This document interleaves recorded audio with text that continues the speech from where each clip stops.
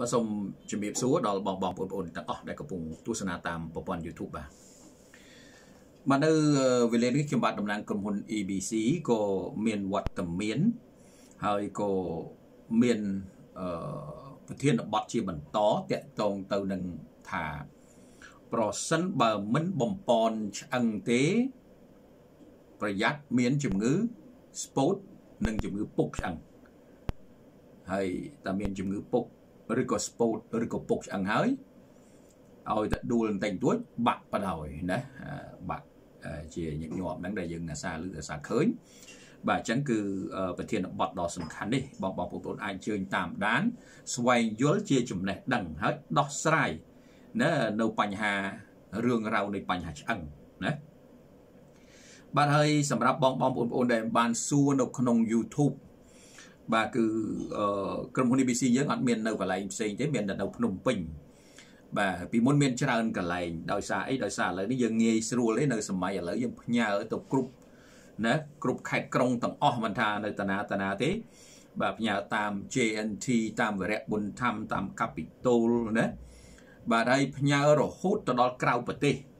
បាទនេះថ្ងៃនេះផ្ញើទៅកូរ៉េដែលផ្ញើទៅកូរ៉េកូរ៉េហ្នឹងផ្ញើញឹកបាទអត់អត់ហួសពីមួយខែទេមួយខែមាន2ជើងក៏មានមាន3ក៏មានមាន1ក៏មានណាអាហ្នឹងគឺកូរ៉េហើយថៃសម្បូរហើយនឹងជប៉ុនអឺមួយមួយណាអញ្ចឹងបងបងបងប្អូនទាំងអស់នៅតាណាក៏ដោយអត់ពិបាកទេនៅក្នុងការទិញដូរនោះហើយតំណាក់តំណងមកតាម page ក៏បានតាមអឺអឺ Facebook របស់ខ្ញុំបាទក៏បានណាអាចសូមអញ្ជើញអញ្ចឹងឥឡូវនេះ ខ្ញុំបាទសូមចូលទៅដល់ប្រធានបទហ្នឹងហើយនៅអញ្ចឹងគឺប្រធានបទយើងដូចបានលើកឡើងបាញ់មិញថាបើបំពន់កោសិកាឆ្អឹងទេប្រយ័ត្នបាក់ឆ្អឹងណាពុកស្ពូតបាក់ឆ្អឹងហ្នឹងឯងណាឥឡូវសូមស្វាគមន៍មកកាន់កម្មវិធីពន្លឺសុខភាពហើយកម្មវិធីពន្លឺសុខភាពនេះឧបត្ថម្ភដោយក្រុមហ៊ុន EBC បាទក្រុមហ៊ុន EBC ណាក្រុមហ៊ុន EBC មានបទពិសោធន៍ជាង20ឆ្នាំ ហើយមានចំណេះដឹងហ្នឹងគ្រប់គ្រាន់នៅក្នុងការដោះស្រាយសុខភាពមានផលិតផលហ្នឹងគឺគ្រប់គ្រាន់ក្រុមហ៊ុន EBC មានទីតាំងនៅផ្ទះលេខ266ផ្លូវលេខ150ក្រោយមន្ទីរពេទ្យលោកសង្ឃចម្ងាយប្រហែលជា200ម៉ែត្រតាក់ទងលេខទូរស័ព្ទមាន012 98 11 25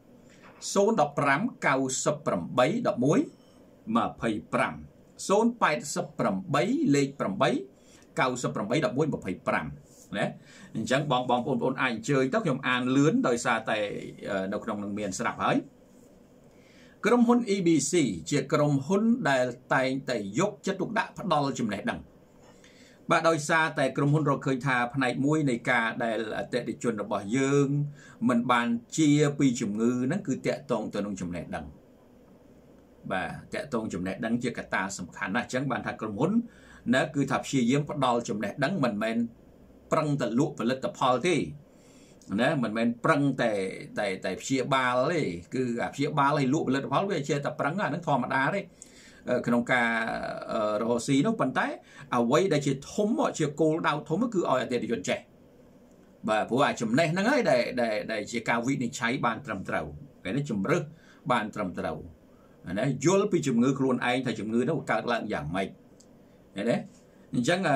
ក្រុមហ៊ុន ABC នេះគឺយើងផ្ដល់ការផ្សព្វផ្សាយជាចំណេះដឹងតាមប្រព័ន្ធ YouTube បាទ YouTube យើងមាន channel តែមួយទេអត់ពិបាកទេ channel របស់យើងគឺ EBC ពន្លឺសុខភាពបាទនៅក្នុងនោះមានហើយ EBC ហ្នឹងជាភាសាអង់គ្លេសហើយដកឃ្លាបន្តិចទៅណាអក្សរខ្មែរពន្លឺសុខភាពពន្លឺសុខភាព បាទ EBC ពន្លឺសុខភាពណាហើយអឺ YouTube ហ្នឹងយើងវាយទៅចង់ចង់មើលពីរឿងអីក៏បានដែរណា EBC អក្សរអង់គ្លេសដកឃ្លាបន្តិចទៅអក្សរខ្មែរពន្លឺសុខភាពហើយបើចង់ស្វែងរកជំងឺអីទៀតដកឃ្លាបន្តិចវាយអក្សរខ្មែរដែរណាដូចជាថាឥឡូវ EBC ពន្លឺសុខភាពដកឃ្លាទៅជំងឺតម្រង់នោមណាឬក៏ជំងឺកាពះឬក៏ជំងឺទឹកនោមផ្អែមឬក៏ជំងឺអីមួយចឹងទៅ បាទហើយ YouTube ហ្នឹងមិនមែនមានតែ EBC មិនមែនមានតែ YouTube ទេណា page ហ្នឹងក៏ឈ្មោះ EBC ដែរ EBC ពន្លឺសុខភាពដែរ page ហើយ YouTube ឈ្មោះតែមួយណាបាទហើយ page មួយទៀតគឺឈ្មោះប៉ាងលីហៅជាអក្សរឡាតាំង page មួយទៀតគឺប៉ាងលីហៅ EBC ណាអក្សរឡាតាំងដែរហើយ Facebook ខ្ញុំខ្ញុំបានគឺប៉ាងលីហៅបាទអញ្ចឹងតំណាក់តំណងតាម page តាម Facebook ហើយចំណែកចំណេះដឹងតាម YouTube EBC ពន្លឺសុខភាពលេខទូរស័ព្ទមាននៅក្នុងស្រាប់ហើយណាសម្រាប់បងបងប្អូនដែលមានបំណងចង់ចេះចង់ដឹងហ្នឹងគឺថាអញ្ជើញតាក់ទងមកបាទសួរនាំពីរឿងសុខភាពនឹងណាហើយដោះស្រាយតាណាមិនទាន់ចេញក៏អាចអញ្ជើញមកតំណាក់តំណងដោះស្រាយចេញទៅរាល់បញ្ហាសុខភាពរ៉ាំរ៉ៃហ្នឹងគឺថាអាចជួយដោះស្រាយឲ្យជានេះបានបាទចឹងអាចអញ្ជើញតាក់ទងណាទស្សនវិស័យរបស់ក្រុមហ៊ុន EBC បាទក្រុមហ៊ុន EBC យើងមានទស្សនវិស័យណាទស្សនវិស័យការមើលឃើញណាការមើលឃើញហ្នឹងគឺដោយសារអីមើលឃើញថាតកតងនឹងរឿងរ៉ាវសុខភាពនេះជាសំខាន់ជាចម្បងណាអ្នកដែលគាត់អត់ជាអឺពីជំងឺហ្នឹងទោះបីស្វែងរកតាណាក៏ដោយណាមិនថាក្នុងស្រុកក្រៅស្រុកអីទេ សំខាន់បំផុតការមិនជាហ្នឹងទី1គឺកង្វះខាតការយល់ដឹងផ្នែកសុខភាពហ្នឹងតែម្ដងណា ទី2មិនជួបជាមួយអ្នកជំនាញអ្នកមានបទពិសោធន៍និងអ្នកដែលមានផលិតផលគ្រប់គ្រាន់ណាជាពិសេសផ្នែកសុខភាពធម្មជាតិហ្នឹងគឺថាជួបជាមួយអ្នកលក់ធម្មតាធម្មតាដល់អញ្ចឹងមិនជាទេណាកតា2ហ្នឹងជាកតាធំហ่ะអញ្ចឹងហើយក្រុមហ៊ុនបានបង្កើតនៅប្រព័ន្ធផ្សព្វផ្សាយផ្ដល់ជាចំណេះដឹងព្រោះកាលណាមានចំណេះដឹងហើយយើងអាចវិនិច្ឆ័យហើយមនុស្សយើងហ៎តែចេះដឹងហើយយើងចេះថ្លឹងចេះថ្លែងចេះដឹងថាល្អមិនល្អ ណាដឹងសដឹងខ្មៅចេះប្រៀបធៀបណាមានការគិតបានស៊ីជម្រៅនៅពេលដែលមានចេះដឹងហើយតែខ្វះចំណេះដឹងអានឹងជឿផុយផុយងាកជឿងាកជឿណាដែលអញ្ចឹងវាធ្វើឲ្យខុសបាទអញ្ចឹងខ្ញុំមិនចាំបាច់អានទេក្នុងនឹងមានស្រាប់ហើយណាបាទអញ្ចឹងឥឡូវនេះគឺចូលទៅដល់ផ្នែកបន្តទៀតណាតើមនុស្សយើងកើតជំងឺដោយសារកត្តាអី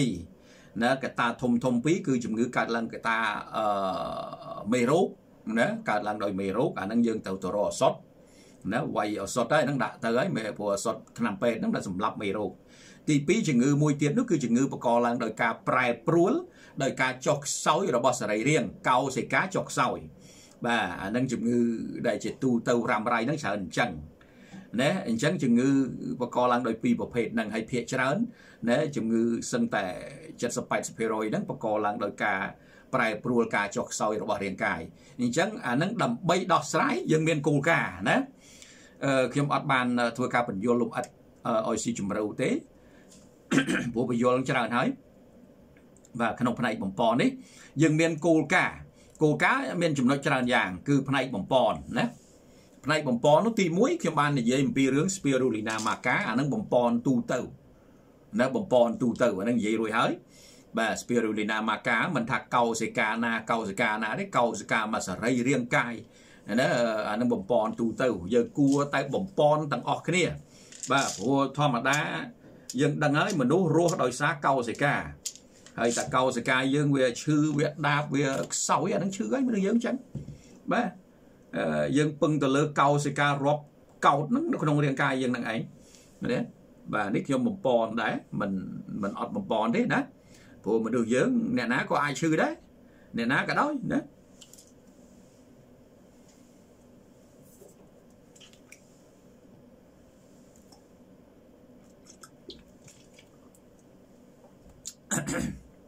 ទឹក chlorophyll នេះបាត់ដាច់ស្តុកយូរហើយដាច់ហើយទៅមកដល់ទេណា ណាពីថ្ងៃនេះរវល់យកមែនតើបាទភ្ញៀវកំងទឹក chlorophyll ហ្នឹងមួយខែហើយដាច់ណាបាទអញ្ចឹងឥឡូវមកដល់វិញហើយណាសម្រាប់បងបងប្អូនប្អូនដែលមានបំណងចង់បានទឹក chlorophyll គឺសូមអញ្ជើញតំណាក់តំណងព្រោះមកដល់ខ្ញុំក៏ខានផឹកដែរលក់ខ្ទេចខ្លួនឯងក៏អត់បានផឹកដែរទឹក chlorophyll ហ្នឹងឥឡូវមានហើយនឹងជួយខ្លាំងផ្នែកខាងលាងសម្អាតជាតិពុលលាងតម្រង់នោមបាទហើយអានេះបំពន់ទូទៅណា បាទអញ្ចឹងឥឡូវយើងចូលទៅដល់ផ្នែកបំពន់ទី2ហ្នឹងគឺផ្នែកអឺកាល់ស្យូមណាកាល់ស្យូមហ្នឹងគឺឆ្អឹងបំពន់ទៅលើឆ្អឹងបើយើងអត់បំពន់ទៅលើឆ្អឹងទេកែលោឆ្អឹងហ្នឹងវាពុកផុយអឺដួលជពុបជើងតែងទួចបាក់ទៅហើយតែបាក់មិនងាយទេណាសិតតែរឿងហើយហើយចាស់ចាស់សិតពិបាកហើយណាអញ្ចឹងអាហ្នឹងគឺបានបញ្យល់ហើយហើយអឺចំណុចនេះអឺ ខ្ញុំបន្តទៅតាក់ទងនឹងការបាត់បង់កាល់ស្យូមតែម្ដងណាបាទកុំឲ្យខាតពេលហ្នឹងអឺឥឡូវចាប់ពីនេះតទៅ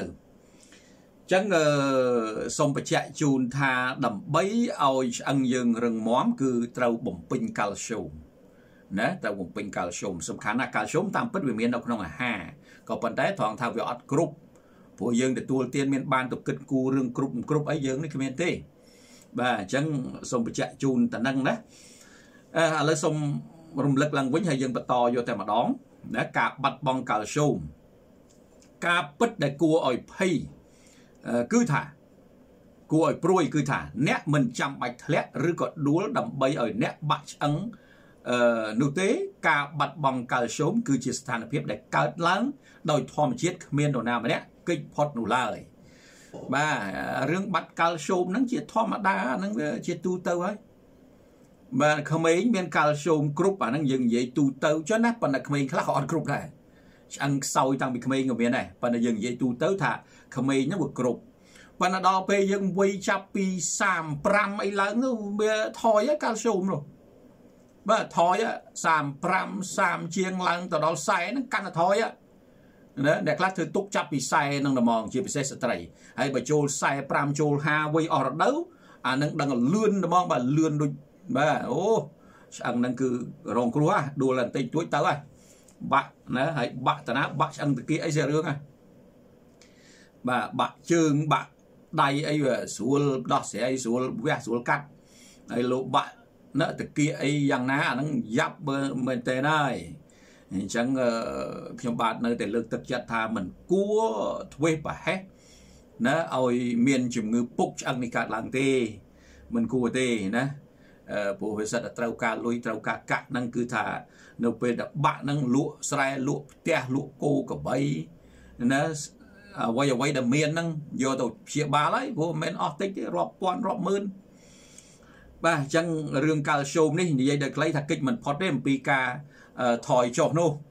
បាទអញ្ចឹងគឺជាស្ថានភាពដែលកើតឡើងដោយធម្មជាតិគ្មាននរណាគេចផុតបានឡើយដែលចាប់ដើមតាំងពីបឋមវ័យនិងកាន់តែខ្លាំងទៅខ្លាំងទៅ នៅពេលដែលវ័យចាស់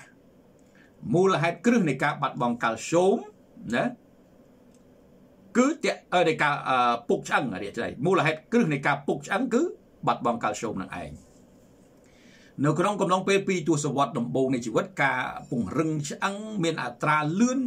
នៅជាងការបាត់បង់ឆ្អឹងប៉ុន្តែរយៈពេលលើសពីនេះ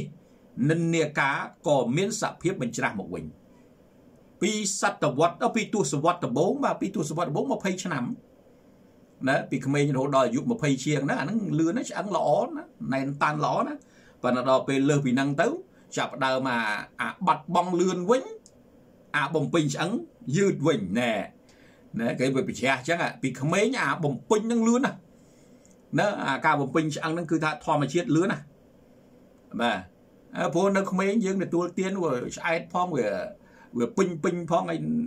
នៅកម្លាំងនៅអីចឹងទៅស្រីរៀងកំពុងលូតលាស់ហើយដល់ពេលយើងចាប់ដើមវ័យលើសពី20 30លើសទៅវាថយហើយថយអាហារក៏ថយអាធម្មជាតិដែលបាត់បង់កាល់ស្យូមនោះក៏ថយ ណាហើយអាថយហើយអត់មានស្អីទៅជួយទប់ទល់ទៀតណាអត់មានអីទៅជួយទប់ទល់មកពីយើងហ្នឹងវាមិនមានចំណេះដឹងដែរអញ្ចឹងយើងមិនរវល់មិនខ្វល់ឃើញទេអត់បានគិតណាហ្នឹងអញ្ចឹងសេចក្តីត្រូវការកាល់ស្យូមរបស់រាងកាយមានចំនួនកាន់តែច្រើនឡើងច្រើនឡើងទៅដើម្បីទប់ទល់នឹងការបាត់បង់ប្រចាំថ្ងៃហ្នឹងពេលពេលយើងវ័យចាស់ជរាទៅណាបាទដោយសារការខ្វះខាតកាល់ស្យូមពីអាហារប្រចាំថ្ងៃ និងដោយសារតែយើងមិនបានផ្ដល់បន្ថែមពីរាងកាយនោះសរីរាង្គនីមួយៗត្រូវបង្ខំស្រូបយកនិងប្រើប្រាស់កាល់ស្យូមពីឆ្អឹងជារៀងរាល់ថ្ងៃដើម្បីទប់ទល់បង្គ្រប់នៅការបាត់បង់ឃើញទេកាលណាការស្តុកទុកកាល់ស្យូមក្នុងឆ្អឹងចាប់ដើមថយចុះពេលនោះឆ្អឹងក៏ចាប់ដើមស្ពោតបន្តិចម្ដងបន្តិចម្ដងហើយកាលណាការស្ពោតនេះ មានរយៈពេលយូរទៅយូរទៅឆ្អឹងក៏ចាប់ដើមផុយ ហើយងាយបាក់បំផុតឃើញទេបាទដូចបានបញ្យល់អញ្ចឹងថាឥឡូវខ្ញុំបញ្យល់ជារួមបាទយើងដឹងហើយថានៅក្នុងឆ្អឹងវាសម្បូរកាល់ស្យូមកន្លែងដែលដែលសម្បូរកាល់ស្យូមខ្លាំងជាងគេគឺឆ្អឹងនឹងឯងមិនថាឆ្អឹងតាណាតាណាទេកាល់ស្យូមហ្នឹងគឺជាឆ្អឹងនឹងឯងឃើញទេថ្មិញហ្នឹងក៏ចឹងដែរកញ្ចក់ដៃកញ្ចក់ជើងហ្នឹងក៏ក៏ចឹងដែរណាគឺកាល់ស្យូមហ្នឹងណាបាទអញ្ចឹងគឺរាងកាយរបស់មនុស្សយើង អឺមិនមែនតែឆ្អឹងទេដែលត្រូវការកាល់ស្យូមសរីរាង្គផ្សេងផ្សេងក៏វាត្រូវការដែរណាតាំងពីបេះដូងតាំងពីខួរក្បាលតាំងពីថ្លើមតាំងពីសន្លាក់តាំងពីស្អីស្អីក៏ដោយសុទ្ធតែត្រូវការកាល់ស្យូមទាំងអស់ក្នុងសរីរាង្គកាយរបស់យើងនេះណាបើកាលណាវាអត់មានកាល់ស្យូមគ្រប់ទេវាមានបញ្ហាសុខភាពផ្នែកហ្នឹងហើយហើយដូច្នេះហើយអឺជាទូទៅកាល់ស្យូមដែលយើងបានមកគឺពីអាហារពីអាហារដែលយើងទទួលទានណា ក៏ប៉ុន្តែដោយសារកត្តាច្រើនកត្តាផ្សេងផ្សេងដែលផលប៉ះពាល់ទៅដល់កាល់ស្យូមហើយមួយយ៉ាងវ័យចាស់ផង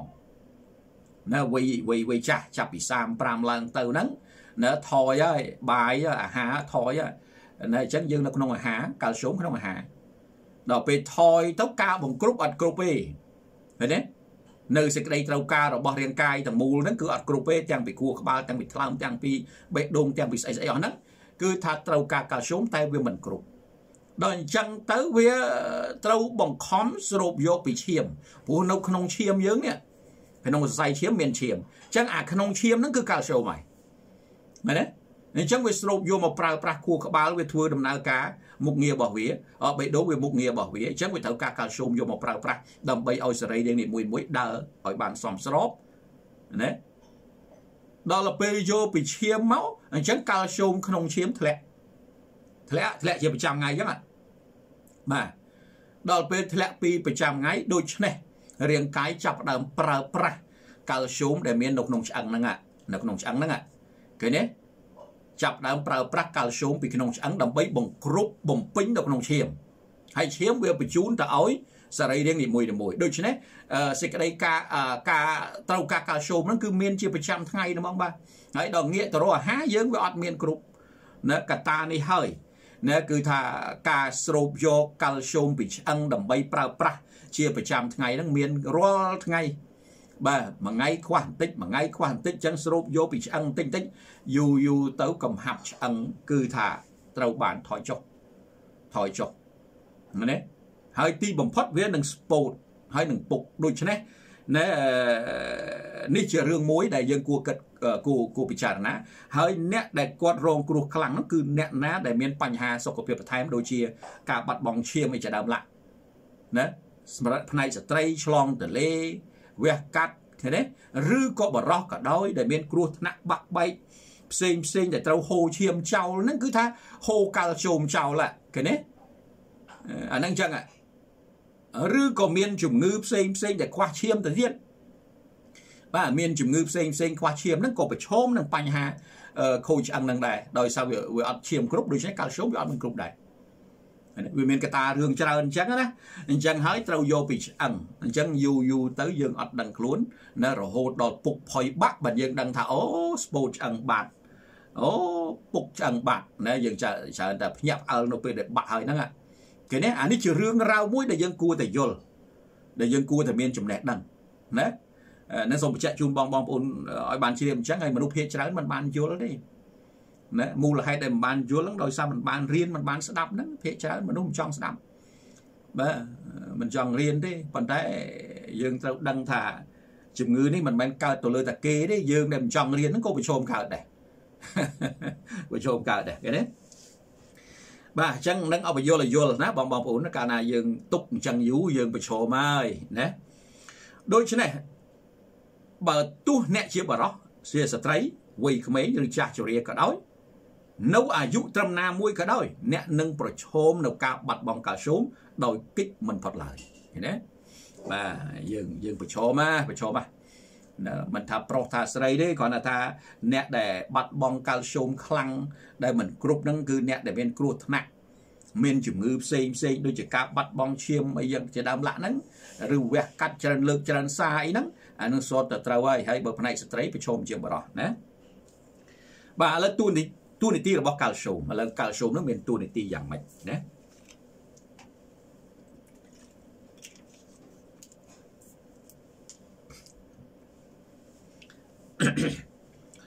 ក្នុងចំណោមសារជាតិរ៉ែដ៏សំខាន់សម្រាប់រាងកាយ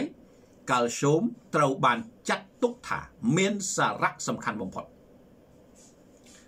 នឹងមិនអាចជំនួសបាន នៅក្នុងតួនាទីរបស់វាឃើញទេរ៉ែសំខាន់ណាកាល់ស្យូមគេគេសិក្សាប្រងព្រាតណាសារជាតិបំពន់ដែលគេសិក្សាប្រងព្រាតខ្លាំងហ្នឹងគឺកាល់ស្យូមហ្នឹងឯងវីតាមីន C ហ្នឹងឯងណាព្រោះមនុស្សវាច្រើនអត់គ្រប់អាពីរហ្នឹង ហើយនឹងវីតាមីនមួយចំនួនទៀតដែលអត់គ្រប់ដែរប៉ុន្តែគាត់ថាកាល់ស្យូមហើយវីតាមីន C ហ្នឹងគឺថាអ្នកវិទ្យាសាស្ត្រសិក្សាស្រាវជ្រាវទូលំទូលាយដោយសារដោយសារផលប្រយោជន៍វាហ្នឹងវាច្រើនវាច្រើនឃើញទេបាទឥឡូវមើលតួនាទីរបស់វាគេណាបង្កើតពង្រឹងនិងជួយឲ្យឆ្អឹងលូតលាស់បានល្អណាលូតលាស់ដល់ធ្មេញនិងនិង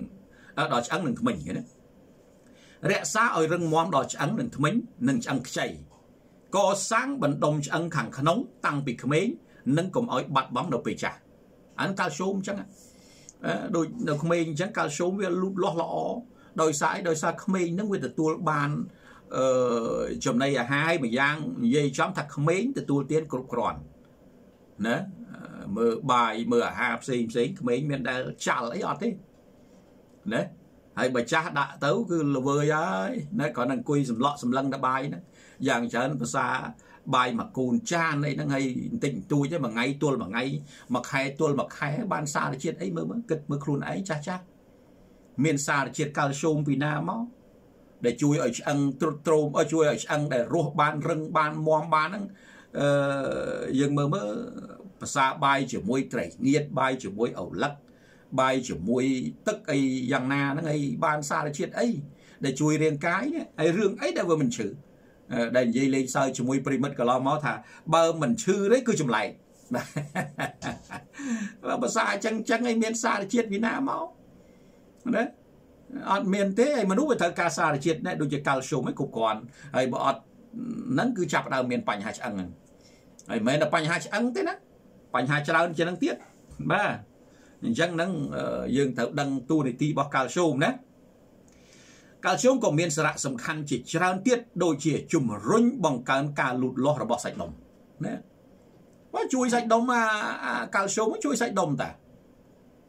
ខ្វះកាល់ស្យូមរមួលកពើឥឡូវហើយអារមួលកពើហ្នឹងរមួលសាច់ដុំហ្នឹងឯងបាទអញ្ចឹងអ្នកដែលខ្វះអ្នកដែលរមួលកពើមកពីខ្វះកាល់ស្យូមហ្នឹងណាអញ្ចឹងយើងត្រូវបំពេញកាល់ស្យូមណារបស់ជប៉ុនប៉ាកែស័ក្តិសិទ្ធណាពពួក DNA natural ហ្នឹង បងបងប្អូនប្រើប្រាស់ណាអញ្ចឹងកាល់ស្យូមមានសារៈសំខាន់ជាច្រើនទៀតដូចជាណាជំរុញបង្កើនការលូតលាស់របស់សាច់ដុំបញ្ជូនសញ្ញាជីបចរសរសៃប្រសាទការពារកុំឲ្យឈាមកកឃើញទេកាល់ស្យូមអីហ្នឹងសុទ្ធតែជួយកុំឲ្យឈាមកកនឹងឯងជំរុញបង្កើនការបញ្ចេញអរម៉ូនធ្វើឲ្យសកម្មដល់អង់ស៊ីមណាអង់ស៊ីមរំលាយអាហារហ្នឹង រក្សាភាពស្វិតដល់កោសិកាឃើញទេ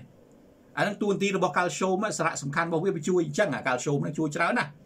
អានឹងយើងសង្ខេបខ្លីៗបាទបើបើមិនមានប្រយោជន៍ច្រើនអ្នកវិទ្យាសាស្ត្រគេមិនទៅសិក្សាទេដូចខ្ញុំជំរាបជូនអញ្ចឹងថាសារជាតិបំពន់ដែលគេសិក្សាខ្លាំងគឺកាល់ស្យូមហើយនិងវីតាមីន C ហ្នឹងឯងបាទអ្នកវិទ្យាសាស្ត្រហ្នឹងគេសិក្សាស្រាវជ្រាវខ្លាំងណាស់ ដោយសារអត្ថប្រយោជន៍របស់វានឹងសម្បូរបែបណាអញ្ចឹងឥឡូវបងបងប្អូនប្អូនយល់តាក់ទងរឿងកាល់ស្យូមមួយវាត្រូវអីខ្លះវាជួយអីខ្លះគឺនៅក្នុងនឹងហើយណាឥឡូវចូលដល់មូលហេតុដែលខ្វះកាល់ស្យូមណាមូលហេតុអីបានខ្វះកាល់ស្យូមឥឡូវនេះសំខាន់ណាស់ឥឡូវយើងមើលមើលអឺអ្នកវិទ្យាសាស្ត្របង្ហាញជូនថាមនុស្សដែលខ្វះកាល់ស្យូមយើងត្រូវយល់ថាចេះកត្តាខ្វះកាល់ស្យូមហ្នឹងគឺថាជាកត្តាធម្មជាតិមួយអាហ្នឹងនិយាយជាធំជារួម នៅពេលដែលមនុស្សចាស់ហ្នឹងដូចជាបានលើកឡើងខាងដើមអញ្ចឹងថា យើងពីក្មេងតាំងពីកូនង៉ែតណាចម្រើនវ័យមករហូតដល់អាយុជាង20ហ្នឹងកាល់ស្យូមវាវាវាសម្បូរណាស់ឆ្អឹងវាណែនណាន់តាន់តាប់ទៅដោយកាល់ស្យូមកំហាប់ឆ្អឹងហ្នឹងគឺល្អអានឹងយើងនិយាយជារួមជាទូទៅប៉ុន្តែដល់វ័យចាប់ពី20ឡើងទៅនៅឡើងទៅគឺថាកាល់ស្យូមថយចុះហើយកាន់តែចាស់កាន់តែថយអានឹងជារឿងធម្មជាតិ ណាហើយវាមានកត្តាជំរុញបន្ថែមលើនឹងទៀតកត្តាជំរុញនឹងកត្តាអឺអាហារកតារាងកាយកតារងគ្រោះពីជំងឺផ្សេងផ្សេងអានឹងគឺវាខ្វះកាល់ស្យូមដោយស្វ័យប្រវត្តិអាយើងជាធម្មជាតិខ្វះហើយថែមจะមានកម្លាំងជំរុញពីខាងក្រៅមកទៀត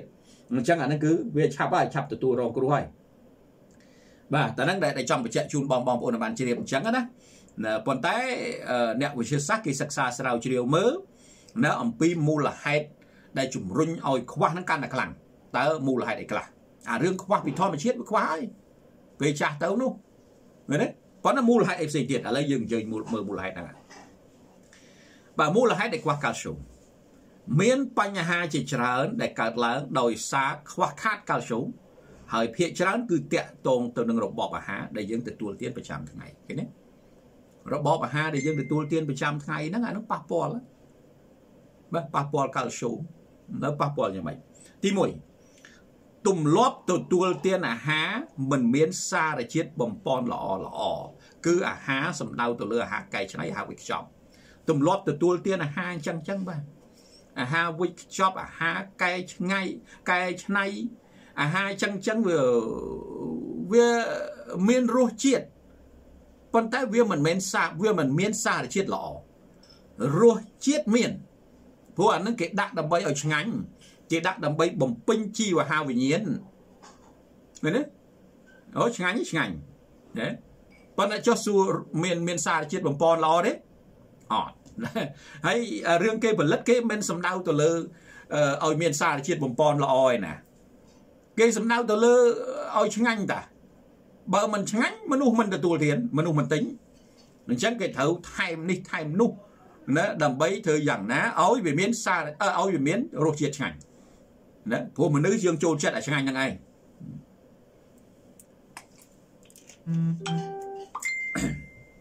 យើងចូលចិត្តឆ្ងាញ់តែយើងអត់បានចូលចិត្តអ្វីដែលមានសារជាតិបំពន់ល្អទេហើយអាមានសារជាតិបំពន់ល្អហើយអាឆ្ងាញ់វាខុសគ្នាណាវាខុសគ្នាវាអត់ដូចគ្នាទេអាមួយឆ្ងាញ់អាមួយអត់មានសារជាតិផង មានដែរសារជាតិវាមានតិចតួចវាមិនមែនថាអត់សុទ្ធទេព្រោះអាហារហើយនោះណាប៉ុន្តែគ្រាន់វាមិនមានច្រើនឃើញទេការទទួលទានញឹកញាប់និងចំនួនច្រើននៅសារនៅអាហារកែច្នៃនិងអាហារវេខ្ចប់មានភាពគ្រោះថ្នាក់ដល់សុខភាពនៃមុខងាររបស់សរីរាង្គរួមទាំងការពង្រឹងឆ្អឹងផងដែរឃើញទេ ការទទួលទានញឹកញាប់និងចំនួនច្រើនស្ដាប់ឲ្យតន់ឃើញទេនៅអាហារកែច្នៃអាហារវិខ្ចប់ហ្នឹងគឺថាវាមានភាពគ្រោះថ្នាក់ទៅដល់មុខងារសរីរាង្គរួមទាំងការពង្រឹងឆ្អឹងផងដែរហើយអ្នកណាអ្នកនិយាយអ្នកវិទ្យាសាស្ត្រហ្នឹងមិនចេះតែខ្ញុំថាទេណាមុននឹងគេថាគេពិសោធន៍ហើយអស់ហើយបាទអញ្ចឹងហើយមនុស្សយើងអត់អត់យល់បាទអញ្ចឹងពិបាកណាស់រឿងអត់យល់ហ្នឹងមនុស្សនិយាយមិនជឿទេបាទ តើឈឺហ្មងបានជឿបើមិនឈឺមិនជឿទេបាទកត្តាអាហារជាច្រើនទៀតក៏ប៉ះពាល់ដល់ការស្រូបចូលកាល់ស្យូមផងដែរដោយបង្កើតឲ្យមានអំបិលមិនរលាយនៅក្នុងពោះវៀនឃើញទេនេះអាវិចខ្ចប់អាកែឆ្នៃគេដាក់ឲ្យទៅប្រៃឡែមឡែមណាបើវាមិនប្រៃឡែមឡែមវាមិនល្អសម្រាប់ដានមែនទេអញ្ចឹងគេធ្វើឲ្យតែអញ្ចឹងទៅផឹកទឹកទៅ ហើយមានសារជាតិអីអាអំបិលច្រើនហ្នឹងគ្រោះថ្នាក់ទៀតអំបិលច្រើនហ្នឹងវាធ្វើឲ្យរលាយកាល់ស្យូមមកទៀតឃើញទេបាទដែលបាត់បង់កាល់ស្យូមដោយសារអំបិលច្រើនពេកហ្នឹងហើយសបោសបោអាអាប្រៃប្រៃសបោណាហើយទទួលទានអញ្ចឹងអញ្ចឹងណារឿងអីដែលវាបំបត្តិបងកាល់ស្យូមវាត្រូវតែបាត់នៅពេលចាស់ទៅអាយើងថាវ័យធម្មជាតិយើងតែវ័យចាស់ហើយវាបាត់ហើយណាប៉ុន្តែថែមទាំងអាហារអញ្ចឹងអញ្ចឹងទៀតហើយអាហារអញ្ចឹងមិនមែនចាំបាច់ទៅចាស់យើងទទួលទានតាមពីក្មេងអញ្ចឹងបំផ្លាញកាល់ស្យូមខ្លួនឯងតាំងពីក្មេងនោះរឿងអីដែលចាស់ទៅមិនពុកឆ្អឹងបាទទី1និងទី2ទម្លាប់ទទួលទានអាហារមិនតុល្យភាពទម្លាប់ទទួលទានអាហារមិនតុល្យភាពមិនតុល្យភាពនឹងចង់និយាយថាម៉េចទី1 A អាហារចំនួនអំបិលច្រើនពេកឃើញទេមិញហ្នឹងអានិយាយពីរឿងអាហារកែច្នៃនោះវាសម្បូរអំបិលប៉ុន្តែមួយទៀតមួយទៀតអាហារអំបិលហ្មងមានន័យថាគាត់ហ្នឹងគាត់ចូលចិត្តតែប្រៃ ណាបើថាយើងប៉ុណ្ណឹងប្រៃមកល្មមហើយគាត់មិនលេងអញ្ចឹងក៏ដាក់ថែមអំបិលទៀតបាទនេះទម្លាប់គាត់ណាទម្លាប់គាត់នៅវាមានក្រុមចូលចិត្តតាតាប្រៃហើយក៏មានក្រុមចូលចិត្តតាផ្អែមបើមិនផ្អែមណាគឺថាមិនសុខចិត្តទេណាអឺបើថាសម្លហ្នឹងបើ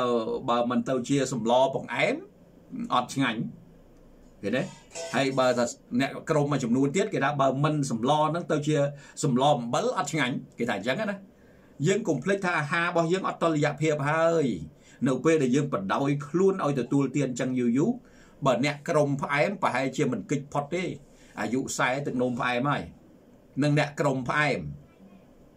ផ្ដាំផ្ញើទៅដល់អ្នកក្រុមផ្អែមអ្នកចូលចិត្តផ្អែមណាហើយបើអ្នកក្រុមប្រៃកិច្ចបំផុតទីតម្រង់នោម តិចទៀតទឹកនោមប្រៃហើយនឹងផ្ដាំមកហើយអ្នកក្រុមប្រៃបាទឲ្យតែទទួលទានខុសប្រកដីអញ្ចឹងទៅហើយគេគេគេអ្នកចឹងចឹងគេមានបានគិតឯណាគេអត់មានបានគិតថាអូខ្ញុំទទួលទាននឹងដើម្បីសុខភាព គេថាបើមិនប្រៃមិនឆ្ងាញ់អ្នកក្រុមផ្អែមគេថាបើមិនផ្អែមមិនឆ្ងាញ់ឃើញទេអាហ្នឹងហើយដែលអាហារអាហារមិនតលយៈភាពហ្នឹងទទួលទានតាមចំណង់ចំណូលចិត្តមិនមែនទទួលទានដើម្បីឲ្យមានសុខភាពល្អអាចទទួលទានខុសប្រកដីហើយ បែរទៅជាអាការថែទាំសុខភាពនឹងអត់មានទៀតបាទអាការកែតម្រង់នោមកែលំពេងណាដូចជា spirulina maca ដូចជាទឹក chlorophyll អីអត់ប្រើទៀតណាអាបំផ្លាញហើយมันថែមទាំងទាំង ទាំងជួយកែកុនជួយថែទាំទៀតអាហ្នឹងរឿងអីដែលវាមិនឈឺអញ្ចឹងហើយបានខ្ញុំជម្រាបជូនបងបងប្អូនថាអាជំងឺនេះមិនមែនមកពីអ្នកណាមកដាក់ឲ្យយើងនេះយើងខ្លួនឯងជាអ្នកបំផ្លាញខ្លួនឯងហ្នឹងតាអ្នកបកកបង្កើតជំងឺឲ្យខ្លួនឯងហ្នឹងតាដែលខ្ញុំតែងតែនិយាយរឿយរឿយចឹងប៉ុន្តែភាកច្រើននិយាយទៅគេមិនសូវយកពាក្យហ្នឹងទៅពិចារណាណាគេអត់យកពាក្យពេចល្អល្អហ្នឹងទៅពិចារណាទេញ៉ែតាមស្រួលនិយាយប្រាប់គេគេថាគាត់ឈួតទៀតទៅហើយ វាមិនដែរណាសំជំងឺដាក់ខ្លួនទេគេថាអញ្ចឹងណាបាទគេថាឈួតមកកណោតាបាទគ្រូហ្នឹងនិយាយយូរយូរទៅថាមនុស្សសន្សំជំងឺដាក់ខ្លួនណាគេគេមិនថាឲ្យលឺប៉ុន្តែគេថាក្រៅអីចឹងទៅណាមិនដឹងឈួតឈួតទេមិនដឹងអ្នកណាឈួតអ្នកណាជាទេណាជាថាថាទៅខ្ញុំមិនដឹងទេប៉ុន្តែគ្រាន់តែគិតគូពិចារណា ថាយើងបើយើងមិនថែទាំយើងមិនយល់ដឹងទេ គឺយើងនឹងឯងកំពុងតែកសាងសន្សំជំងឺដាក់ខ្លួននឹងឯងណាដូចជាចំណេះដឹងអាហ្នឹងគេណាណាអាហ្នឹងចំណេះដឹងសុខសាស្ត្រត្មងហើយអត់មានណាមកជួយយើងនេះមានយើងឯងជួយខ្លួនឯងបាទអញ្ចឹងទម្លាប់ទទួលទានអាហារមិនតុល្យភាព A អាហារចំនួនអំបិលច្រើនពេកចំនួនអំបិលនៅក្នុងសម្លមួយចានគោមអាចបំផ្លាញដល់ផ្នែកខាងក្រៅឆ្អឹងដល់ទៅ30%ឃើញទេ អំបិលមួយចានគោមនេះក្នុងសម្លដែលគេដាក់គេដាក់អំបិលណាបាទដែលយើងដាក់អំបិលមួយចានហ្នឹងតែមិនមែនថាដាក់ទាំងអស់មួយចានទេចង់និយាយថាអំបិលនៅក្នុងសម្លមួយចានគោមហ្នឹងអាចបំផ្លាញដល់ផ្នែកខាងក្រៅរបស់ឆ្អឹងដល់ទៅ30%អាហ្នឹងឯងធ្វើឲ្យឆ្អឹងសឹកបាទនេះគឺដោយសារតែកាល់ស្យូមនៅក្នុងឆ្អឹងងាយរលាយនៅក្នុងឈាម ហើយរត់ឆ្លងកាត់តម្រងនោមធ្លាក់មកជាមួយទឹកធ្លាក់មួយជាមួយទឹកនោម ចំនួនអំបិលច្រើនហួសកម្រិតនិងជំរុញបង្កើនឲ្យមានការបំផ្លាញកាល់ស្យូមកាន់តែច្រើនគេណាអញ្ចឹងកាល់ស្យូមវាបាត់បង់ដោយសារអំបិលច្រើនពេកហ្នឹងព្រោះអំបិលហ្នឹងវាធ្វើឲ្យរលាយទៅដល់កាល់ស្យូមហ្នឹងហើយត្រូវហូរចោលក្នុងទឹកនោមហ្នឹងឃើញទេបាទហូរចោលក្នុងទឹកនោមហូរចោលមិនហូរចោលអំបិលវាមកដោយកាល់ស្យូមផងដែរព្រោះអំបិលច្រើនពេកជាតិប្រៃខ្លាំងច្រើនពេកណាអាហ្នឹងមិនយូរយូរទៅទឹកនោមប្រៃហ่ะបាទទឹកនោមប្រៃហើយពុកឆ្អឹងទៀត ណាអញ្ចឹងកុំទទួលទានប្រៃពេកហើយក៏កុំផ្អែមជ្រុលពេកឲ្យស្មើឲ្យតុល្យភាពអ្វីអ្វីគឺត្រូវតែតុល្យភាពត្រូវចាំมันឲ្យលំអៀងទេសូម្បីតែភពផែនដីយើងក៏វិតុល្យភាពដែរបើយើងអាចរស់នៅបាននោះណាទំនាញរបស់ភពផ្សេងផ្សេងធ្វើឲ្យផែនដីនឹងបើគុំតថាគុំតទំនាញផ្សេងផ្សេងទាញវាឲ្យនៅនឹងយើងនេះមិនមែនមានភពផែនដីត្រូវលាយបាត់ហើយអញ្ចឹងយើងរស់បានដោយសារ តលយៈភាពនៃទំនាញរបស់ភពមួយទៅភពមួយពីផែនដីឃើញទេអានេះយើងនិយាយយើងនិយាយពីរឿងផ្នែកវិទ្យាសាស្ត្របាទវាត្រូវតែតលយៈភាពអាហ្នឹងមិនរស់បានយូរឃើញទេបើមិនតលយៈភាពទេរស់បានយូរទេស្អីក៏ដោយឃើញទេអត់លំអៀងពេកក៏អត់ទន់ពេកឃើញទេត្រូវកដាលដើរផ្លូវកដាលសូម្បីព្រះសម្មាសម្ពុទ្ធក៏ណែនាំឲ្យដើរផ្លូវកដាលដែរឃើញទេដើរផ្លូវកដាលអត់មានដើរផ្លូវលំអៀងទេណា អញ្ចឹងផ្លូវកដាលដើរទៅវាអត់ជន់មីននៅដើរចូលព្រៃចូលអីក៏លុយជន់ដាច់ជើងទៅនឹងន័យអញ្ចឹងណាប្រៀបធៀបឲ្យយល់អញ្ចឹងណាបាទហើយក្នុងការទទួលទានអញ្ចឹងឲ្យកដាលកុំឲ្យផ្អែមពេកកុំឲ្យប្រៃពេកឲ្យវាល្មមអាហ្នឹងមិនរស់បានយូរណាអាហ្នឹងអាហ្នឹងអញ្ចឹងយើងយកមកពិចារណាប្រៀបធៀបទៅយើងយើងឃើញជាក់ស្ដែងចឹងហ្មងបាទធ្វើអីក៏ដោយ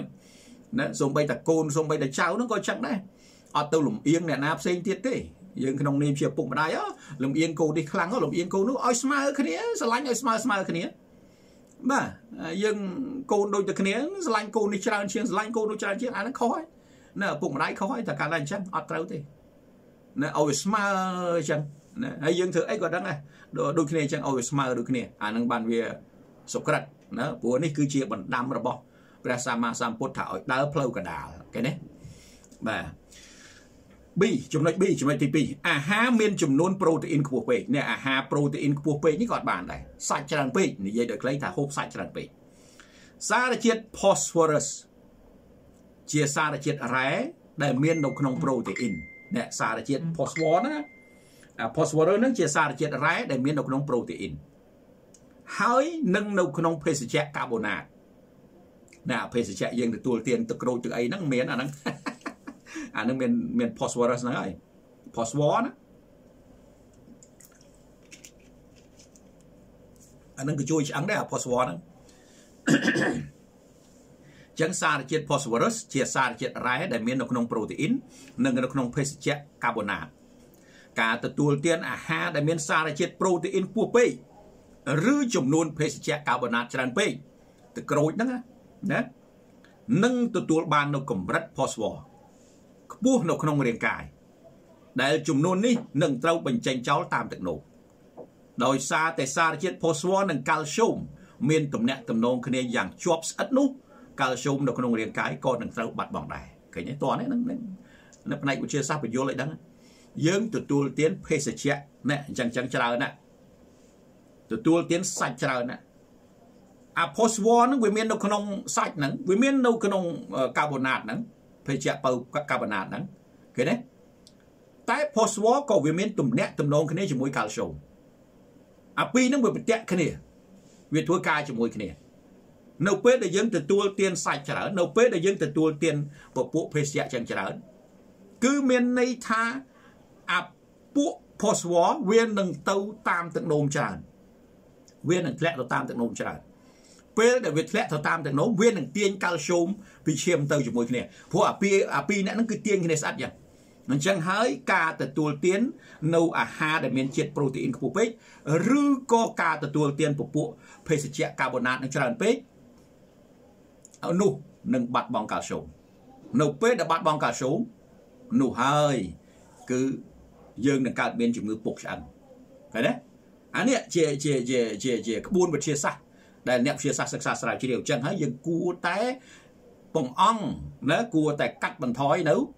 អាហារដែលដែលសម្បូរទៅដោយជាតិសាច់នឹងខ្លាំងពេកឬក៏ពពួកភេសជ្ជៈនឹងខ្លាំងពេកកាត់បន្ថយណាគួរកាត់បន្ថយកុំទទួលទានច្រើនពេកឃើញទេនឹងបើចង់កុំឲ្យពុកឆ្អឹងណាអញ្ចឹងបងបងប្អូនអាចយល់បានណានៅក្នុងន័យហ្នឹងបាទអញ្ចឹងការបាត់បង់កាល់ស្យូមហ្នឹងគឺនេះគឺអញ្ចឹងមកពីទំនៀមទម្លាប់ទទួលទានអាហារវិចខ្ចប់អាហារកែច្នៃវាអត់មានសារជាតិល្អល្អ ណាទី2ទំនៀមទម្លាប់ទទួលទានអាហារមិនតុល្យភាពមួយគឺអាហារអំបិលច្រើនពីរគឺអាហារសាច់ច្រើនពេកណាភេសជ្ជៈកាបូណាតនឹងច្រើនពេកឃើញទេអញ្ចឹងកែអានឹងឡើងវិញទទួលទានចោះប៉ុន្តែកុំឲ្យច្រើនបាទព្រោះច្រើនពេកអានឹងធ្វើឲ្យបាត់បង់កាល់ស្យូមហើយណាហើយអាបាត់បង់ពីធម្មជាតិនោះផ្សេងផ្សេងទៀតអានឹងដូចខ្ញុំលើកឡើងអញ្ចឹងថាកត្តាដែលនាំឲ្យបាត់បង់អានេះគឺបាត់បង់ជាធម្មជាតិដែលក្នុងអាហារដែលយើងទទួលទាន ហើយអាបាត់បង់ដោយសារយើងបាត់បង់ឈាមដោយសារយើងគ្រោះថ្នាក់បាក់បែកអាហ្នឹងរឿងមួយឡែកទៅទៀតរុញកាន់តែខ្លាំងបាទហើយនឹងផ្នែកស្ត្រីនោះបាត់បង់ដោយសកតាផ្សេងផ្សេងទៀតច្រើនអានឹងរឿងមួយឡែកទៀតណាអឺអញ្ចឹងបងបងប្អូនប្អូនទៅប្រយ័ត្នប្រយែងមែនទែនណាហើយរឿងឆ្អឹងនេះមិនមែនជារឿងដែលងាយស្រួលព្យាបាលអីរយៈពេលខ្លីផឹកមួយខែជាអីទេតែពុកស្ពោតហើយ ហើយតារោកាល់ស្យូមល្អអត់មានហ្នឹងនៅព្យាបាលចូលឯងមួយឆ្នាំកន្លះអីឆ្អឹងឡើងតិចតួចជាពិសេសវ័យចាស់ណាដែលខ្ញុំជួបប្រទេសហ្នឹងគឺថាអ្នកខ្លះគាត់រោកាល់ស្យូមអត់ល្អកាល់ស្យូមវាមិនមែនជាអាហារណាអញ្ចឹងហើយការស្រូបចូលហ្នឹងវាយឺតយ៉ាវហើយការស្រូបចូលយឺតយ៉ាវហ្នឹងងាយឯណាទៅប៉ះបើឆ្អឹងមិនងាយទេណាអញ្ចឹងតលតែយើងមានកាល់ស្យូមល្អនេះ គឺជាកាល់ស្យូមរបស់ជប៉ុនណាល្អណាជាកាល់ស្យូមដែលជាអាហារបំពន់កម្លាំងស្រូបចូលនឹងខ្លាំងណាគួរទទួលទានហើយសម្រាប់អ្នកដែលពុកស្ពោតអីអញ្ជើញមកប្រើប្រាស់អ្នកមិនទាន់ការពារណាកុំភ្លេចរឿងការពារនឹងសំខាន់ណាស់ឥឡូវជំងឺដែលខ្វះកាល់ស្យូមនេះបាទម៉ោងចិត្តទៀតថែមតិចនេះជំងឺដែលខ្វះកាល់ស្យូមឥឡូវមើលមើលជំងឺអីខ្លះចំនួនសារជាតិកាល់ស្យូមនៅក្នុងអាហារទាបអស់រយៈពេលយូរអាចនាំឲ្យមានកង្វះខាតកាល់ស្យូម កង្វះខាតកាល់ស្យូមរយៈពេលយូរប្រកបជានឹងត្រូវបាត់បង់ឆ្អឹងជាលទ្ធផល គឺតាក់ទងទៅនឹងការបង្កឲ្យមានជំងឺរ៉ាំរ៉ៃស្ទើរតែទាំងអស់ណាអញ្ចឹងជំងឺបាត់បង់កាល់ស្យូមនេះតែបាត់បង់កាល់ស្យូមហើយទៅហើយអាឆ្អឹងហ្នឹងវាជារឿងមួយហើយប៉ុន្តែមិនមែនតែរឿងឆ្អឹងទេរឿងអីច្រើនទៀតណាឥឡូវឥឡូវយើងមើលនេះរោគសញ្ញាខ្វះកាល់ស្យូម ជាទូទៅមានឥឡូវមើលដឹងខ្លួនណាសិនបងបងប្អូនមើលមើលមានអញ្ចឹងអត់ទី1ធុញថប់អាហ្នឹងក៏ខ្វះកាល់ស្យូមដែរណាអារម្មណ៍អត់ល្អហ្នឹងខ្វះកាល់ស្យូមហើយហ្នឹងបាទអញ្ចឹងកាល់ស្យូមមិនមែនសំដៅទៅលើតែរឿងឆ្អឹងមួយទេអូច្រើនណាស់បាទច្រើនណាស់អញ្ចឹងទី1ធុញថប់ទី2អស់កម្លាំងរ៉ាំរ៉ៃនិងខ្វះកាល់ស្យូមមួយនេះបាទអ្នកខ្លះគាត់ដឹងហើយគាត់ថាអស់កម្លាំងហេវហត់រ៉ាំរ៉ៃអីទៅទិញអាកាល់ស្យូមផឹក អាកាល់ស្យូមកាច់អំពូលហ្នឹងអាហ្នឹងផឹកទៅមានតោះខុសអី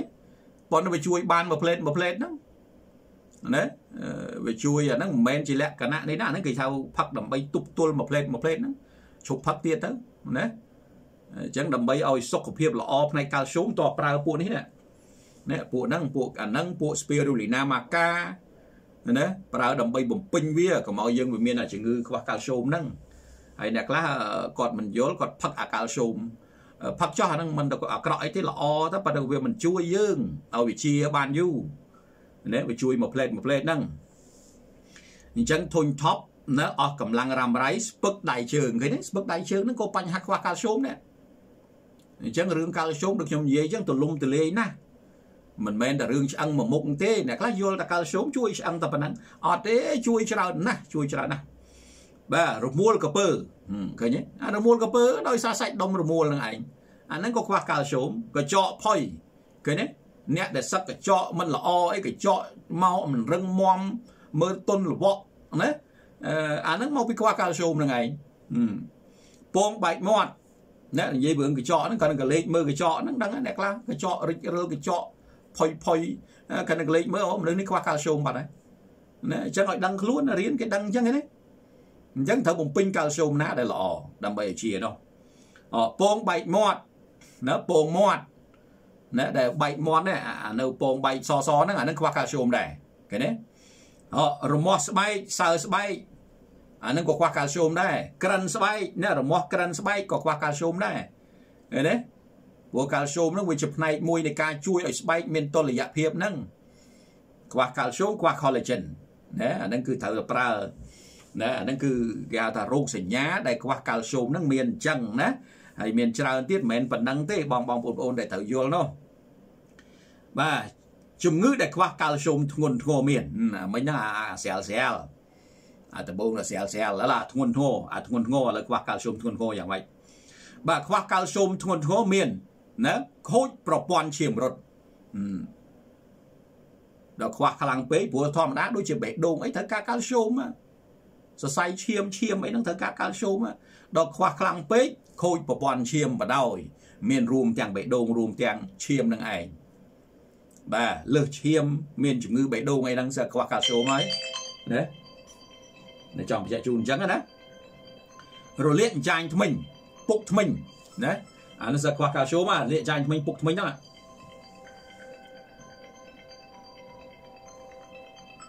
អធិស្ឋាន អាឡូបាញ់វាសួរបាទបាទអឺចេះចាំចាំខ្ញុំទេទៅវិញព្រោះឥឡូវខ្ញុំជាប់កម្មវិធីអត់អាចនិយាយបានយូរខ្ញុំកំពុងថតបាទបាទបាទអរគុណអរគុណចាំទេទៅវិញបាទបាទអញ្ចឹងគឺរលាកអញ្ចាញថ្មិញពុកថ្មិញអីសោះខ្វះកាល់ស្យូមហ្នឹងខ្វះវីតាមីន C ខ្វះកាល់ស្យូមអញ្ចឹងហើយបានយើងយល់ណាដូចដូចឃើញអ្នកខ្វះដូចអ្នកពុកថ្មិញណា អ្នកដែលគាត់ឈាមតាមអញ្ចាញថ្មិញអីអាហ្នឹងយើងដឹងបាត់ហើយហើយអ្នកខ្លះណែនាំឲ្យប្រើវីតាមីន C ណែនាំឲ្យប្រើកាល់ស្យូមអីធ្វើបង្ងើយធ្វើដូចរបៀបអានេះมันបន្ទោសអីទេបើគាត់មិនយល់គាត់តែចង្កាត់គិតថាអីយើងបោកប្រាស់គាត់ទៀតបាទអញ្ចឹងបានថាដែលយើងដឹងច្បាស់ថាជំងឺហ្នឹងប្រើទៅវិជាហើយអាពុកថ្មិញអាឈាមតាមចាញ់ថ្មិញ ណាបង្ហាញសញ្ញាខ្វះកាល់ស្យូមខ្វះវីតាមីន C អីយើងដឹងច្បាស់100%ណាបទពិសោធន៍នឹងព្យាបាលរាប់សិបឆ្នាំហើយដល់ណែនាំធ្វើធ្វើបង្ើយណែនាំទៅហាក់បីដូចជាគាត់គិតគិតអារម្មណ៍របស់គាត់គិតថាយើងនិយាយនឹងនិយាយលេងឬក៏ចេះតែលក់ផលិតផលឲ្យដាច់ណាអឺ ឬក៏យើងដើរបោកប្រឆោតអីយ៉ាងណាគាត់មានអារម្មណ៍អញ្ចឹងណាតាមស្រួលមានអារម្មណ៍អញ្ចឹងខ្ញុំប៉ាន់ស្មានមើលណាគាត់អត់យកចិត្តទុកដាក់ទេនៅអ្វីដែលយើងនិយាយ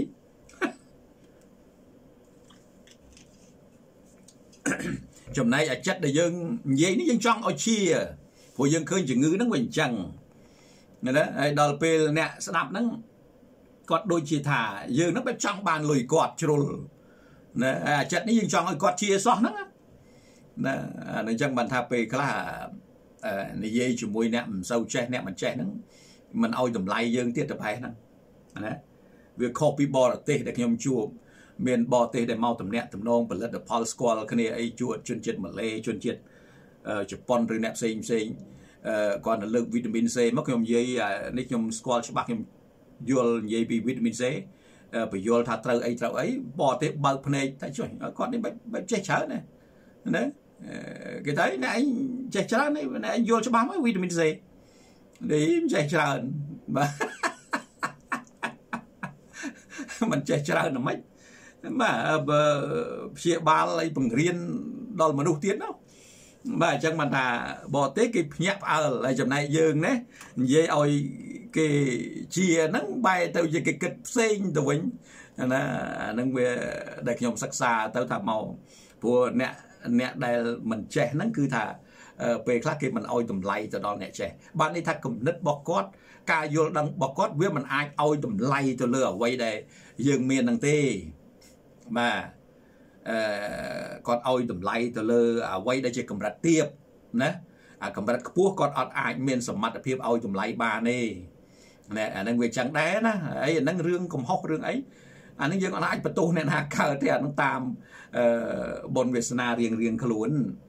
មនុស្សយើងវាមានបុណ្យកើតមកផ្សេងផ្សេងគ្នាណាការកសាងឧបនិស្ស័យនឹងខុសៗគ្នាអ្នកខ្លះនិយាយតែម្ដងយល់ឯងសឹងតែ100យល់ឯ99%អ្នកខ្លះបញ្យល់ម្ដងហ្នឹងយល់បាន5%សឹងបានផងអ្នកខ្លះបាន30អ្នកខ្លះ40អ្នកខ្លះ50ឃើញវាមានកម្រិតខុសគ្នាអញ្ចឹងណាបាទអត់ដូចគ្នាទេអត់ដូចគ្នាទេណា ហើយអ្នកខ្លះមិនយល់ហើយមិនព្យាយាមយល់ទៀតណែអាមិនចេះហើយមិនមិនចង់ព្យាយាមចេះទៀតបាទអានឹងក៏ពិបាកដែរណាណាពិបាកបាទអញ្ចឹងរលាកចាញ់ថ្មិញពុកថ្មិញណាពុកឆ្អឹងអានឹងត្រូវហើយខ្វះធ្ងន់ធ្ងរកាល់ស្យូមខ្សោយតម្រងនោមគេនេះអាខ្សោយតម្រងនោមគឺជាសញ្ញាខ្វះកាល់ស្យូមខ្លាំងដែរណាខ្សោយបេះដូងណាខ្សោយខួរក្បាលឃើញទេនឹងចូលខ្វះកាល់ស្យូមធ្ងន់ធ្ងរ បាទអញ្ចឹងកាល់ស្យូមមិនមែនសំដៅទៅលើតែឆ្អឹងមួយទេប្រយ័ត្នណាបាទមហារីកពោះវៀនធំណែអាហ្នឹងក៏អញ្ចឹងដែរក៏តកតូននឹងកាល់ស្យូមដែរក៏ខ្វះពេកណាកោសកាវាវិវត្តខុសប្រកដីញ័រក្បាលជំងឺញ័រក្បាលជំងឺញ័រដៃអាហ្នឹងក៏ខ្វះកាល់ស្យូមដែរអាញ័រសាច់ដុំញ័រក្បាលអីហ្នឹងណាខ្វះខ្លាំងពេករហូតដល់កើតជំងឺប៉ាគីសុនអីជាដើមដាក់ទៀតទៅបាទអញ្ចឹងនេះគឺជាអ្វីដែលចង់ផ្ដល់ជូនដល់បងបងប្អូនប្អូនទាំងអស់ ណាគឺថាយើងត្រូវសិក្សាស្វែងយល់ណាសម័យកាលដែលយើងត្រូវចេះមិនមែនដូចមុនទេឥឡូវនេះបងបងប្អូនប្អូនគ្រាន់តែបើកទូរស័ព្ទ smartphone ណាមានតែអ៊ីនធឺណិតទេចុចមើលទៅចេះដឹងណាមួយថ្ងៃរៀនបន្តិចមួយថ្ងៃរៀនបន្តិចណាចំណេះវាកើតមានការសន្សំអាចំណេះហ្នឹងគឺសន្សំយើងមិនអាចធ្វើម៉េចឲ្យដាក់ខ្លួនបានទាំងស្រុងទេតសន្សំបន្តិចបន្តិចបន្តិចអឺ បានយើងមានបើយើងអត់សន្សំទេវាគ្មានបានទេព្រោះម្នាក់ម្នាក់មិនមែនណាកើតមកចេះទេដូចតែគ្នាប្រឹងរៀនប្រឹងសូត្រដូចតែគ្នាណាបាទអញ្ចឹងសម្រាប់កម្មវិធីនៅម៉ោងនេះគឺថាចូល50នាទីហើយខ្ញុំបាទមិនបានបន្តទេណាយើងទុកជាភាគបន្តទៀតនេះគឺជាភាគទី2ណាបើមិនបំពន់ឆ្អឹងទេ គឺថាកោសិកាឆ្អឹងនឹងពុកផុយណាអញ្ចឹងបងបងប្អូនប្អូន ការពារប្រសើរជាងព្យាបាលគឺប្រើប្រាស់កាល់ស្យូមហើយបើសិនយើងមានជំងឺពាក់ព័ន្ធទៅនឹងប្រើប្រាស់កាល់ស្យូមដោយបានលើកដើមក៏ត្រូវតែប្រើហើយបើពុកបាក់ឆ្អឹងដែលវះកាត់រួចហើយសូមផ្ដាំផ្ញើថាដាច់ខាតត្រូវតែប្រើដើម្បីឲ្យឆ្អឹងតជាប់គ្នាវិញហហើយនឹងជួយសាច់ដុំឲ្យរលាស់រលូនជួយខួរក្បាលជួយបេះដូងជួយតម្រង់នោមអីសពបែបយ៉ាងអាចអញ្ជើញតំណាក់តំណងណាអឺតាមរយៈប្រព័ន្ធ page ដោយបានលើកឡើងអញ្ចឹង ណាអញ្ជើញតាក់ទងមកបាទនៅក្នុង YouTube ហ្នឹងមានអស់ហើយបាទកាល់ស្យូមធម្មជាតិរបស់ជប៉ុននេះគឺប្រកែណាជាគុណភាពរបស់ជប៉ុនធានាជូននូវគុណភាពលឿនតាមបទពិសោធន៍នៅក្នុងការដោះស្រាយផ្នែកពុកឆ្អឹងនេះខ្ញុំបាទព្យាបាលណាតែ3 4 5ខែជាបាត់អ្នកខ្លះគេផឹកដល់មួយឆ្នាំមួយឆ្នាំកន្លះមិនទាន់ជាផងអារឿងពុកឆ្អឹងហ្នឹង នឹងចឹងហើយបានថាឥឡូវនេះយើងមានកាល់ស្យូមធម្មជាតិរបស់ជប៉ុនបាទសូមអញ្ជើញណាតាក់ទងតាម page ហើយនឹង YouTube ហ្នឹងគឺតាក់ទងបាទសម្រាប់បងបងប្អូនប្អូនដែលដែលសួរនាំតាម YouTube អធិស្ឋានផងណាមិនសូវបានជាមើលទេក្នុង YouTube ហ្នឹងព្រោះ page មកត្រូវការសួរនាំត្រូវការដោះស្រាយបាទគឺអាចអញ្ជើញតំណាក់តំណងតាម page page EBC ពន្លឺសុខភាពហើយបើសិនក្នុងករណីបន្ទាន់ត្រូវការព្យាបាល អានឹងតាក់ទងតាមទូរស័ព្ទមកបាទតាមទូរស័ព្ទមកព្រោះកិច្ចការខ្លះអឺវាត្រូវការបន្ទាន់ទេណានិយាយហើយបើសិននៅក្នុងករណីសួរទៅតាម YouTube ខ្ញុំបាទក៏មិនសូវជាមានពេលបានឆ្លើយដែរណាព្រោះចំណេះដឹងវានៅក្នុងនឹងរួចស្រេចហើយតែបើក្នុងការចង់ព្យាបាលសូមតាក់ទងតាម page ឬក៏ទូរស័ព្ទណាសូមជួយ share វីដេអូតតគ្នាហើយសូមអរគុណចំពោះការតាមដានទស្សនានិងការជួយ share ណាសូមទំនាក់ទំនងលេខទូរស័ព្ទនៅក្នុងហ្នឹងជួបគ្នានៅភាគក្រោយទៀតគឺភាគទី3បាទនេះជាភាគទី2សូមអរគុណសូមជម្រាបលាបាទ